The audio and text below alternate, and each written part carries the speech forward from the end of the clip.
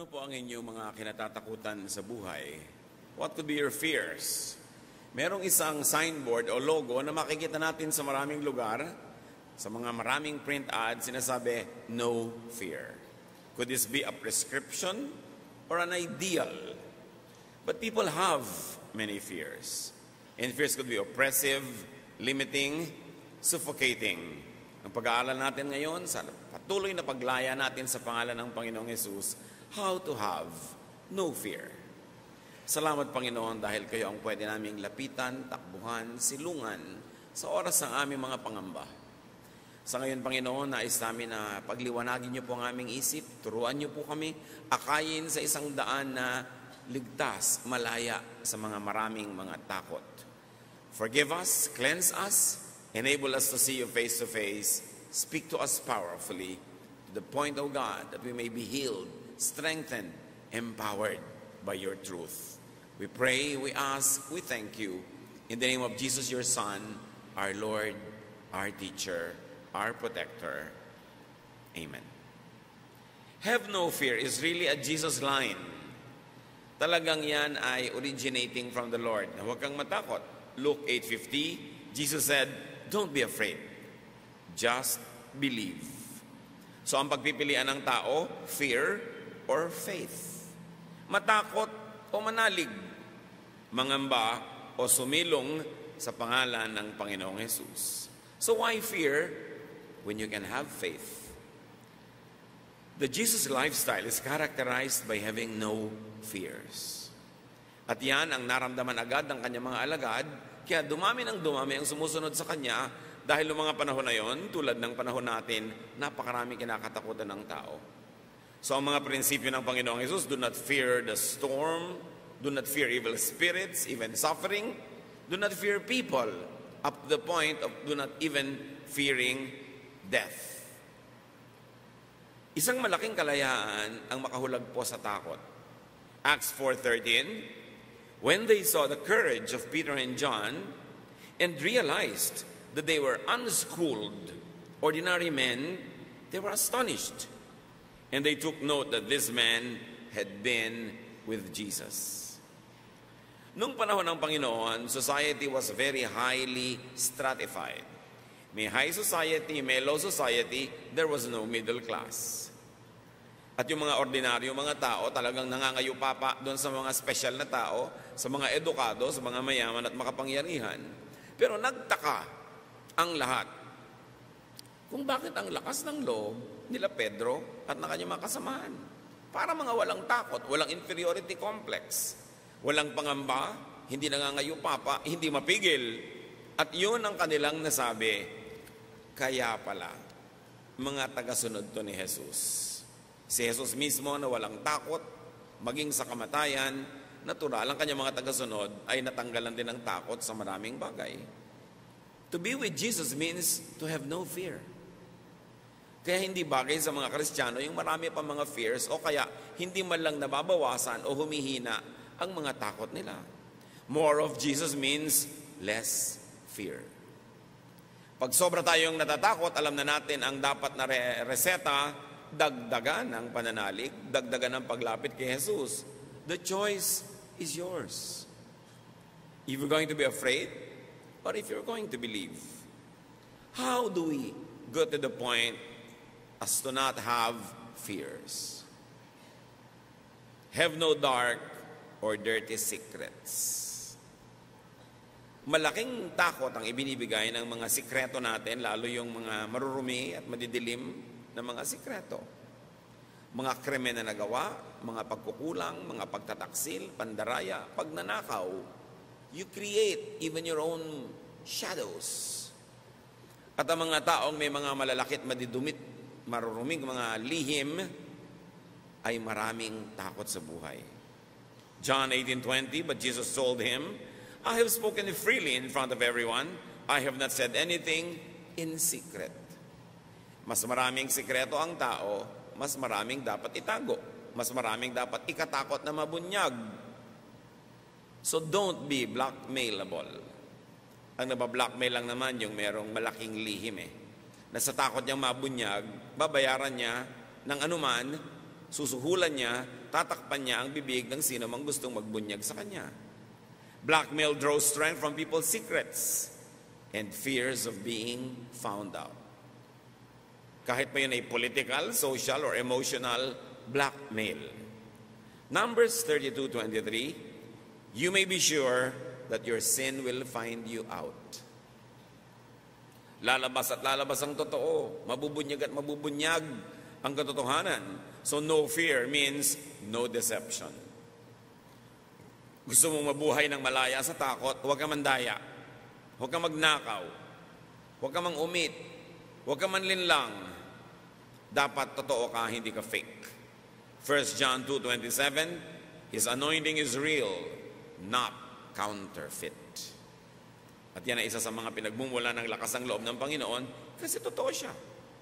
So in your life, don't be blackmailable or how not to fear being exposed. Look at the positive side of being found out. Freedom. Kung meron kayong lihim na malaki,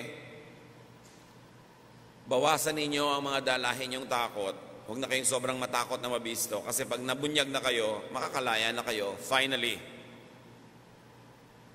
Kumisan hindi nyo naman papalayain ang sarili nyo, binubuhat nyo yung malaking lihim na yan forever. And then may nagbunyag sa inyo o bigla na lang na-expose. Alam niyo ang tunay na effect noon? Aside from the momentary discomfort, kahihiyan, pag-uusig, pagbabayad, ang tunay na matagal na bunga sa buhay nyo noon, kalayaan, lumaya kayo sa pagtatago.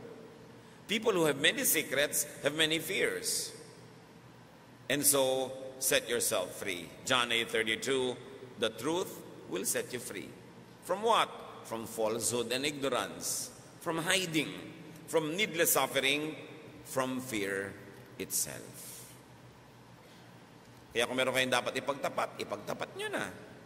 Para matapos na ang inyong pagdadala, kung dapat kayo magbayad o magmulta, magbayad kayo at magmulta, dahil kahit hindi kayo nagbabayad o nagmumulta, mas malaki pang binabayad nyo sa pagtatago ng isang sikretong nagpapahirap ng inyong loob, lumilimita sa inyo, naggagapo sa inyong buhay. How else do you get to a lifestyle of no fear? Have no weakness. In other words, have strength. Be perfect on your own. Pero alam naman natin lahat, mahirap maging perfect. Mahirap maging strong because even God remembers that we are dust according to Psalm 103.14. So, have strength borrowed from Jesus. Isang weakness natin yan, isa natin yan na kinakatakutan na meron tayong weakness. Ang solusyon, maging malakas ka, sarili mong kalakasan, o kung kulang, humiram, humingi sa Panginoong Yesus. You want to be free from your fear of being weak? Accept your weakness, your imperfection, and depend on Jesus after you have done everything that you could. Improve yourself, strengthen yourself, fortify yourself, and then for all else that is missing or lacking, ask Jesus to fill you. Matthew 7 1, ask and it will be given you. Sabi ng Panginoon. 2 Corinthians 12:10 Because when I am weak, then I am strong. Ito ang realization ni Paul. Sabi niya, ang dami-dami kong kahinaan, at kahit anong gawin ko, hindi ko mapalakas yung kahinaan na yon. So dumarating ako sa puntong wala na akong magawa, kundi iasa na lang kay Jesus yung kahinaan. At dahil iniasa ko yung kahinaan, naging kalakasan, therefore I will celebrate my weaknesses because as long as I submit my weaknesses to Jesus, they become strengths. So isuko sa Panginoon. Weakness surrendered to Jesus becomes strength. So huwag mabuhay sa takot na hindi ko to kaya kasi kaya ni Jesus. Baka mamatay ang asawa ko, hindi ko makaya. Kaya ni Jesus at tulungan ka. Baka magkasakit ako at maghirap, hindi ko kaya. Kaya ni Jesus na tulungan ka. Paano ko ako'y nabigo? Paano may nangyari sa akin? Paano ko nasunog ang aking bahay? Nalugi ang aking negosyo? O nawala ang aking papa? Kaya ko ba? Kaya mo. Basta nagpatulong ka sa Panginoon. Philippians 4.13 I can do everything through Him who gives me strength. Kaya yung mga iba sa takot na mawalan, hindi na lang nagsisikap na magkaroon. Sa takot na iwan ng lover, hindi na lang nagkakaroon ng lover. Sa takot na iwan ng kaibigan, hindi na lang nakikipagkaibigan. Sa takot na malugi, hindi na lang nagdenegosyo. Sa takot na mabuhay, pinapatay na lang ang sarili quietly every day. But must you live in such kind of fear? Your strength becomes your weakness when you put Jesus in the equation. So, don't be afraid to live. Get a life. Mamuhunan. Pagtubuin ka ng Panginoon, salamat. Kung nalugi ka, you and the Lord can handle it. Nawalan ka, you and the Lord can handle it. Dapat lang ang hindi mo mawawala sa buhay mo si Jesus. At pupunan niya, palalakasin ka sa lahat ng bagay. How else do you have no fear? Have no false image. Kakambal na kapatid yan nung dapat totoo ka. No false projections, no lies. Therefore, be truthful. Yung nagyayaman-yamanan ka, hindi ka naman talaga mayaman, so takot takot kang mabisto. Yung wala kang pera, may mga kasama ka, magkakainan, ayaw mong aminin, so sabi mo, busog ka. Ba't di mo nalang sabihin, eh, wala akong pera. Kung ililibre nyo ba ako, di kakain ako. Kung hindi, antayin ko na lang dito sa labas. Yung nagtatali-talinuhan ka, may joke, hindi mo naman naintindihan, nakikitawa ka dahil tumawa na yung iba. Kasi hindi mo naman naintindihan kung bakit nakakatawa yon may nadinig kang isang word na hindi mo maintindihan, nagpapanggap ka na intindihan mo, pero nakaka-insecure. So why don't you just be truthful? Do not deceitfully hide your weakness, so you have no false image to keep. Of course, we mean essential and fundamental weaknesses, not cosmetic. Hindi naman kasalanan na may peklat ka, takpan mo. Lagyan mo ng makeup. Hindi naman kasalanan na numinipis yung buhok mo, dinagdagan mo ng extensions. Hindi yun ang mga sinasabi nating huwag takpan. Cosmetic lang yun. It has no moral value at all. It's only aesthetic. But, in big things in your life, be truthful so you don't have to hide anything. Admission sets free. Hindi ko alam eh, ano ba yon? Pakipaliwanag. Hindi ako marunong ng ganyan, pakituruan ako. Hindi ko po naintindihan ang utos ninyo. Pwede po bang ulitin ninyo? Kesa magpanggap ka na intindihan, susundin mo, mali yung ginawa mo, napagalitan ka, namultahan ka pa, it creates a lot of fear. Romans 7, 18 to 19, I know nothing good lives in me, that is in my sinful nature. For I have the desire to do what is good, but I cannot carry it out. For what I do is not the good I want to do. No, the evil I do not want to do, this I keep on doing. Paul speaking. Sabi niya, alam niyo yung gusto kong gawing mabuti, yun naman ang hindi ko magawa-gawa. Yung masamang ayaw kong gawin, ang totoo, doon na lang lagi umuwi. Yun ang nagagawa ko. At dahil inaamin niya yon, parang sugat na tinatanggal ang takip para malinis, malanggas, magamot. Hindi pwedeng takpan ng sugat at asahan mong gagaling. Hindi pwedeng takpan ang mga kamalian na hindi na itutuwid dahil ito'y hindi na maitutuwid pa kailanman admission could also win sympathy, if not understanding or even support. Pag inaamin mo, mas meron pa mga simpatya sa iyong tao. Alam niyo mga kapatid ko, ang dami niyo mga katangian. Ano ba ang talino niyo? O ang yaman ninyo? O ang ganda ninyo? O napakamatagumpay kayo? Maraming mainggit sa inyo. Doon sa mga potensyal na mainggit, makabubuting umamin kayo ng ilang mga kapintasan. Sa mga kumari mo na ingit na ingit, yaman ka ng yaman, pwede mo masabing, alam mo, ang totoo niyan, hirap na hirap ako kasi ang dami-dami ko ring kargo. O pwede mong sabihin, ang dami-dami ko ngang pera pero hindi kami nakakasundo ng asawa ko. Yung totoo lang. Pag nakita ng mga tao na mga kandidatong mainggit sa inyo na meron din kayong mga kulang at mga kapintasan, mababawasan yung inggit nila, baka maging supportive pa sila sa inyo. Maling-mali yung mga tao na nagkikreate ng Superman, Superwoman image. Yung I can do everything, I can handle everything, ang talino ko, ang galing ko, ang husay ko, efficient ako. Actually, wala namang matutuwa sa inyo eh. Kundi amon nyo, kung pinapakinabangan kayo dahil ang galing-galing nyo, ang husay-husay nyo. Pero yung mga karaniwang tao, mga kaibigan, kapwa manggagawa, maiinis pa nga sa inyo yan eh. So hayaan nyo nang makita ng mga tao yung mga pingas. Pag kami naiingit dahil ang ganda-ganda mo, ipakita mo yung peklat mo. Ito nga, operasyon ko. Oh. May peklat akong pagkalaki-laki. Yung, ay, may peklat pala siya. Natuwa pa ngayon siya na may peklat ka. Hindi na siya maingit sa'yo. Pero yung nagpapa-impress ka sobra, puro maganda lang ang pinapakita mo, yung mahusay lang, yung kalakasan mo, walang matutuwa sa'yo. It's wrong to always project a superman or superwoman image because you will only inspire jealousy. But when you show a little bit of your weakness, when you admit little bits of your imperfections, people tend to be kinder to you. Waiter, gutom na gutom ka, gusto mong madali.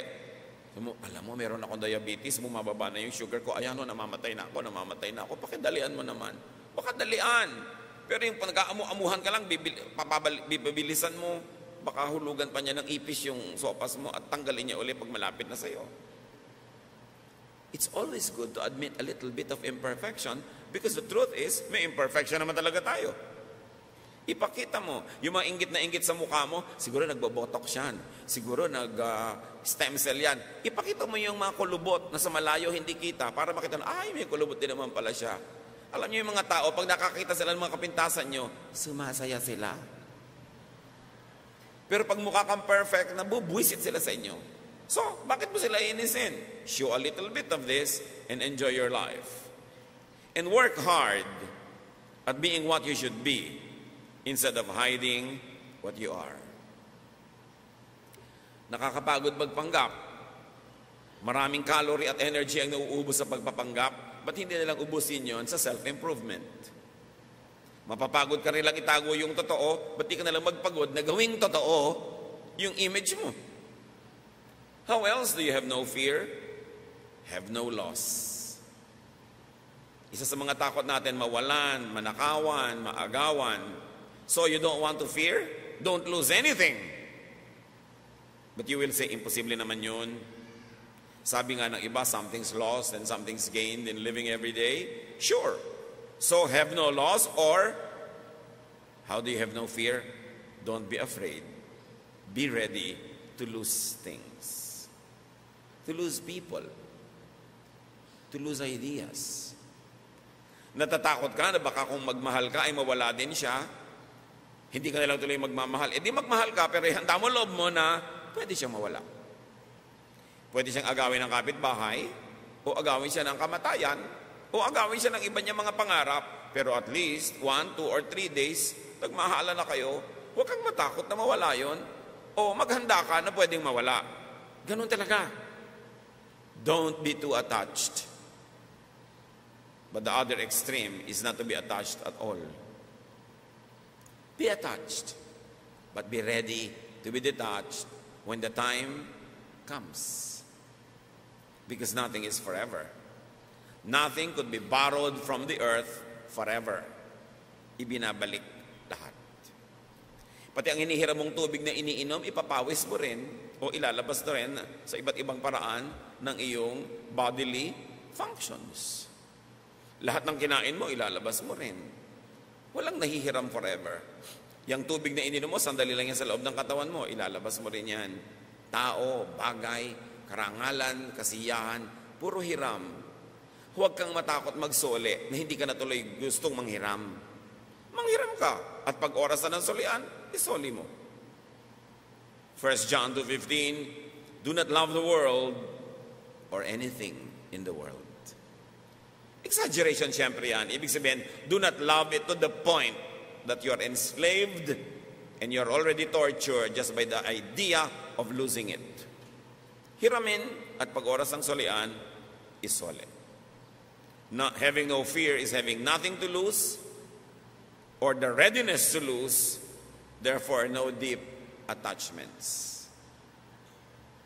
Tanggapin mo sa simula pa lang that nothing is forever. How do you have no fear? Have no defeat. Lagi kang manalo. Always be victorious. But again, you will tell me, imposible naman yon. So how do you have no fear of defeat? Either you always be victorious or be ready to be defeated. Do your best. Pag natalo ka, sa mo natural. You don't win all the time. You win some, you lose some. Something lost, something's gained every day. Yung iba ayaw na lang matalo, hindi na lang sila tuloy tumatakbo sa karera, hindi na lang sila nakikipag-compete, hindi na lang sila nabubuhay. Join at kung natalo ka, of course. May mga araw na talo ka, may mga araw na panalo ka at tanggapin mo sa fact na mas madalas talo. Kasi by virtue of statistics, isa lang naman ang nananalo. Sumali ka sa beauty contest, ikaw ay 17th runner-up. Hmm, pwede na yun. Kasi hindi ka na sumali kahit kailan sa takot mo. So either you have victory or be ready not to win all the time. When you always do your best and that somewhere in your heart you are ready not to win all the time, you will be happy and you will be fearless. Ecclesiastes 9:11 The race is not to the swift or the battle to the strong, but time and chance happen to them all. Sabi, hindi ko mo mabilis kang tumakbo, mananalo ka sa karera. Hindi ko mo makalakas ka, mananalo ka sa gyera. Ecclesiastes 9.11, Contemporary English Version says it better. We each have our share of bad luck. May inaalat lang talaga. Eh, inaalat ka, di sorry. Next time naman, baka iba. Tuwing sisikat ang araw, o tuwing lulubog ito, no matter what time of the day you start working and living, Always be ready to win, but always be ready to lose. Participate in life. Give your best. You don't always get the best back. But when you always give your best, you will never get the worst. Ang batting average mo magiging mataas. How else do you have no fear? Have no pain. Diyan tayo takot eh sa pain. Have a painless life. But then again, you say, hindi naman pwede yon. Sabi ng Ecclesiastes 2.23, All of man's days, his work is pain and grief. Even at night, his mind does not rest. So ang tao talaga may kakambal na mga hirap at sakit. So how do you experience a life of no fear? Well, have no pain, which is impossible, or develop and have a high threshold and tolerance for pain.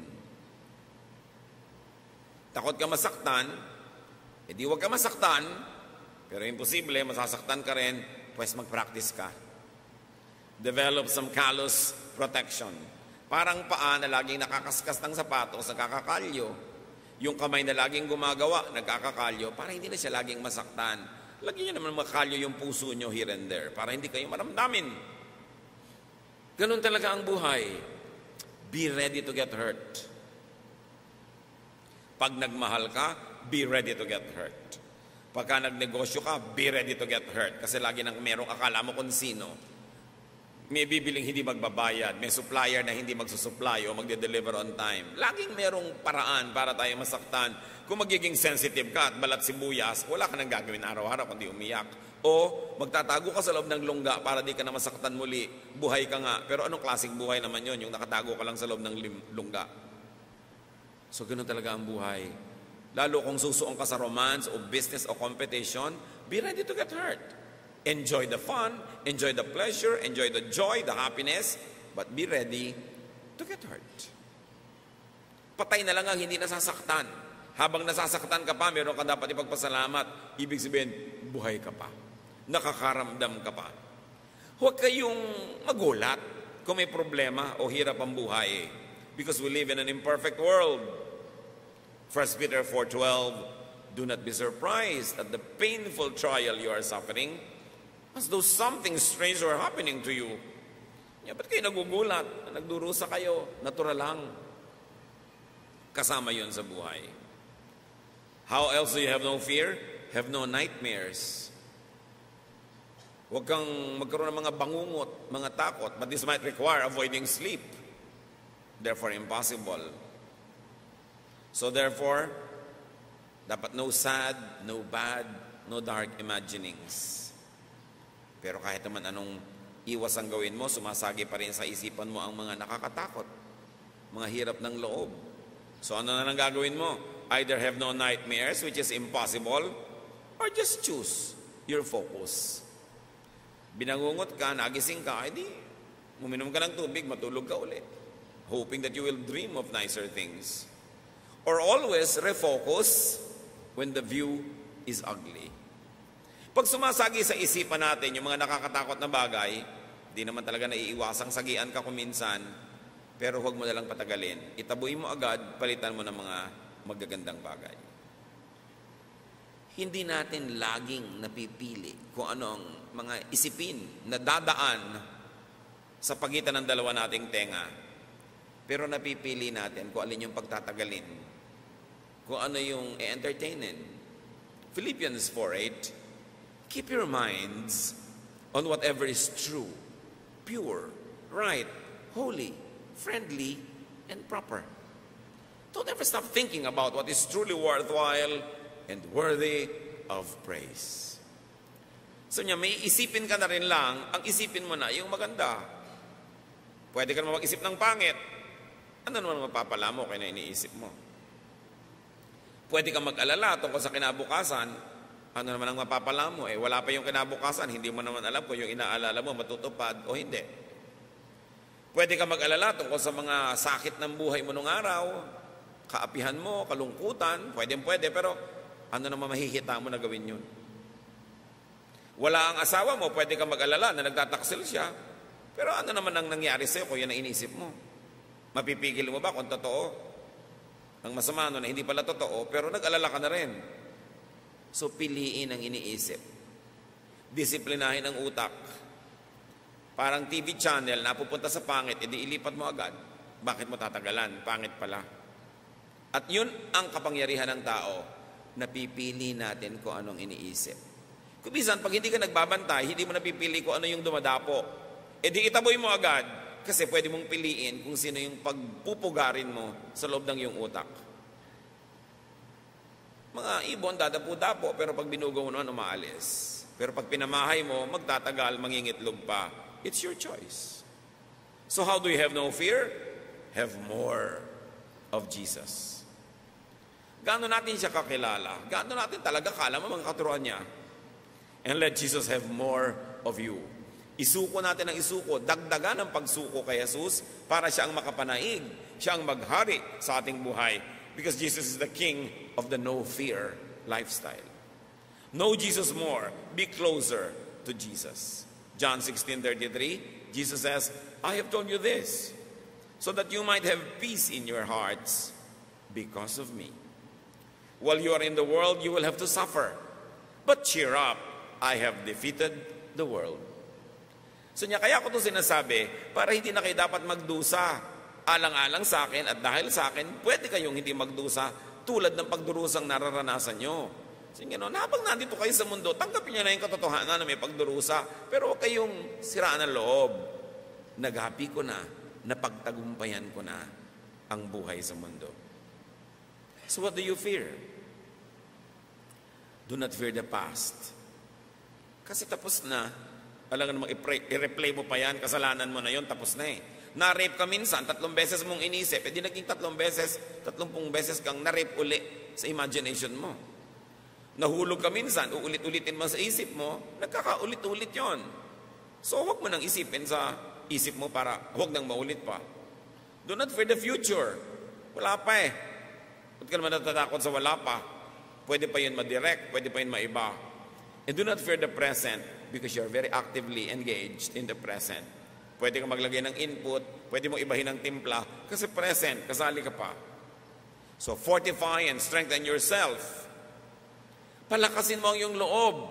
Patibayin mo ang iyong dibdib. Palaguin mo ang iyong pananampalataya. Mag-practice kang mahirapan. Sapagkat ang mundo'y bayan ng hinagpis. Sabi ni Walagtas, mamamaya'y sukat ni bayan ng dibdib. Magpakatibay ka. Pagka merong nagtatakbuhan dahil may sunog na matutumba na siya, o matutumba ka, gusto mo maging uling? Ayaw ko, bangon! Ayaw mo pala eh. Bumangon ka. Huwag ka maghinahinaan dyan. Maraming kapangyarihan ng tao kung gugustuhin mong gamitin. Kita nyo, pag may mga sunog, pati nga refrigerator, nabubuhat ng isang payat na babae. Pag may baha, nadadala lahat. May kapangyarihan tayo. Choose, choice mo na yon kung gusto mo maghinahinaan dyan, maging anemic, o maglakas, maging malakas ka. Kaya mo yon because you can do all things through Christ who gives you strength. Kaya yan. Pagka hindi ko na yata kaya, magtigil ka, nag ka lang, kaya mo yan. Hindi mo na lang yan kaya kung patay ka na, buhay ka pa eh. At pag may buhay, may pag-asa. Desensitize yourself. Huwag balat sibuyas. Develop mga kalyo sa buhay. Yung mga ano ko po yung asawa ko ng babae na naman, ilang beses na bang ng babae? Tatlong putsyam na po. Hindi ka pa nasanay. Huwag mo siyang pansinin. Pinapansin mo pa kasi. Kung nagbago, salamat. Kung hindi, alangan namang wala ka nang gawin kung magdo sa buong buhay. Make your own life. Wala pala siyang anim na buwan, make your own life. Alangan namang wala kang ginawa, kundi hanapin siya, sundan siya. Hindi ka gumawa ng buhay mo, eh ayaw pala niyang kasalo ka sa buhay niya. Kaya mo yan. Huwag ka magdrama. Kailangan hanapin mo, ano ba ang lakas ng Panginoon na pwede kong gamitin? Diba? Parang yung babaeng balo, walang-wala po kami, yung mga anak ko, kukuhanin na ng mga nagpautang sa amin, gagawing slaves. Sabi ng propeta, ano bang meron ka sa bahay mo? Huwag mong isipin yung bahay ng iba, ano yung meron yung iba. Ikaw, anong meron ka? Eh, wala po, konti lang lang eh. Yung palang meron ka eh, bumalik ka. Pinarami ngayon, kasi meron naman siya nun eh. Basta meron ka kahit isang patak, pwedeng paramihin niya ng Diyos. So anong meron ka? Meron at meron ka, hindi pwedeng wala. Huwag mong sasabihin sa buhay yung walang-wala ako. Kasi pag sinabi mo yon pati yung mga nandyan, hindi mo napapansinin kasi lilinlangin mo na rin yung sarili mo na talagang wala nga para magmukha ka lang tama. Meron. Hindi pwedeng wala. Huwag kayong umasa kahit kanino. Huwag kayong bubuntot-buntot susunod-sunod. Kung ayaw niya sa inyo, mabuhay kayo ng sarili niyo. May asawa kayo na ayaw kayong pansinin. Huwag niyong pagtaksilan. Huwag niyong itapon. Pero make your own life. Idinadown ka ng magulang mo, di up mo yung sarili mo. Binabaliwala ka ng iba, di pahalagahan mong sarili mo. Desensitize yourself. Huwag manipis, huwag maramdamin. Huwag po lang nang ginawa ko di magdamdam, magtampo, maghinanakit, sumama ang loob, magdrama, para kayong halaman dyan na maluluoy ng maluluoy ng maluluoy. Alam niyo yung tampuhin, yung madrama, lagi may sama ng loob, pumapangit. Nakakita na ba kayo ng ang ganda-ganda? So, ang ganda-ganda mo, bakit? Marami kong sama ng loob. Meron bang ganun? Kitang-kita mo sa mukha. So maawa kayo sa sarili ninyo. Kung may nang aapi sa inyo, ibangon nyo inyong sarili. Make your own life. Make your own orbit. And philosophize. Dapat kasi, para matahimik tayo sa buhay mga kapatid, may paglagyan. Ba, may kutsara kayo nakakalat, may paglalagyan ba kayo sa bahay? Sa lalagyan ng kutsara. May nakakalat na plancha, sa inyo ilalagay? Doon sa may cabinet o sa ibabaw ng palansyahan. Merong tornilyo, sa nyo ilalagay? Sa toolbox o doon sa lalagyan ng mga tornilyo. Pag may nangyayari sa buhay nyo, dapat kayo may paglagyan. Pag nailagay nyo na doon, tahimik na kayo. O halimbawa, yung asawa nyo, hindi na matuto, lagi na lang puro mali. Saan nyo ilalagay? Sabi nyo, tao kasi, hindi perfect. Pag nailagay nyo na doon, tahimik na kayo. Pagka yung, bakit mainitin ang ulo ng nanay mo? Mataas ang sugar. Hmm, may pinaglagyan ka na, naintindihan mo na. Bakit kayo mahirap? Eh kasi tamad ako. O di, alam mo na, may pinaglagyan ka, hindi ka nakikipagtunggali. Dapat may paglagyan. Ano mga kinakatakutan nyo at sa inyo yan dapat ilagay? Dapat yung isipin yon. Kasi pag nailagay na, nagkakaroon ng kaayusan ng buhay. Mga Pilipino, meron ang laking defense mechanism sa lahat ng kabiguan at hirap. Sasabihin nila, ganyan lang talaga ang buhay. Pero dapat huli yon. Ang dapat yung unang philosophy at paglagyan, sasabihin nyo, hindi dapat ganyan. Ano ba? Ang hirap-hirap natin, three generations na, pag sinabi mong ganyan lang talaga ang buhay, wala ka nang gagawin para ayusin ang buhay mo. Pero pag sinabi mong hindi dapat ganyan, makakahulagpos ka sa kahirapan. Lahat ng member ng mahihirap na pamilya, mahihirap na angkan, na umasenso, kasi hindi nila tinanggap. Sukdo lang, lumayo sila, nagpakaiba-iba, pero hindi nila tinanggap na maging kamukha lang sila ng mga kamag-anak nilang mga maralita. Umaasenso sila. Dapat wag mong tanggapin. Naaapi ka, wag mong tanggapin. Huwag mo sabihin ganyan lang talaga. Hindi ako dapat naaapi. Therefore, papalakasin mo ang sarili mo. Kung ipagtanggol mo yung karapatan, gagawin mo. Huwag mong tanggapin na ganun ka lang. Pero kailan sinasabi yung ganyan lang talaga? o nagka-cancer ka, stage 7, wala ka nang magawa, alam mo makipaglaban ka pa doon, magalit ka pa sa Diyos. Sasabihin mo na talaga, ganyan talaga ang buhay. May nagkakasakit, may hindi. Kailan mo ilalagay yung ganyan talaga? Kailan mo ilalagay yung hindi dapat ganyan? Dapat mong isipin kung alin doon at saan ka lalaya. Truth sets free. Dapat ay merong pagkalagyan ka sa loob mo at sa pag iniisip mo. Ang bait-bait mo, ang husay-husay mo, bakit ang lahat nagiging problema? Sasabihin ng iba, pagsubok. May pinaglagyan na siya. Therefore, tahimik na loob niya. Naintindihan nyo, may dapat paglagyan. Sa ko ilalagay itong iniisip ko na to? Hindi ko talaga maintindihan. Pagsubok. Sino ang model mo? Si Job. Okay, may pinaglagyan ka na. So hintayin mo na lang ang deliverance ng Panginoon at huwag ka na makipagtunggali sa nangyayari sa buhay mo ngayon dahil kahit ka naman nakikipagtunggali, walang mangyari. Pero alam mo rin na meron kang model doon sa mga nakipagtunggali. So dapat iniisip natin, aling model ang pipiliin ko ngayon? Aling philosophy ang i-apply ko sa buhay ko ngayon? At alin dapat? Yung magpapalaya sa iyo ngayon. Yung magbibigay sa iyo ng ginhawa, ng liwanag, ng kasiyahan, ng kalayaan. At kung ayaw nating matakot mga kapatid, dapat din nating isipin, do not scare people. Maraming tao takot din. Huwag niyo nang dagdagan ng takot. Mga lalaking nag mamacho-machohan ng mga naglalakas-lakasan ng loob, may takot din yan. So ikaw naman babae, Daddy, Daddy, pinakasalan kita. Ayoko maghirap, baka maghihirap tayo, baka maghihirap tayo. Dinadagdagan mo yung fear niya. Diyos ba siya? Alam ba niya na hindi kayo maghihirap? Sinisikap niya na bigyan ka ng mabuting buhay, pero kung hindi nagiging mabuti, dumadaan kayo sa mga pansamantalang paghihirap, palakasin mo loob ng iyong kapwa kaysa sisihin mo, takutin mo, at lalo mo siyang i-down. Kailangan, bawasan mong takot niya. Alam na alam mo na na yung anak mo mahira sa mat. Ilang beses nang bumagsak. Sasabihin pa, pag bumagsak ka pa, finish the sentence.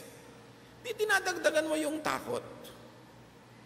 Kaya may iba nagpapakamatay. Tapos, ano, ba't ka nagpakamatay? Para yun lang. Eh, tinakot mo eh.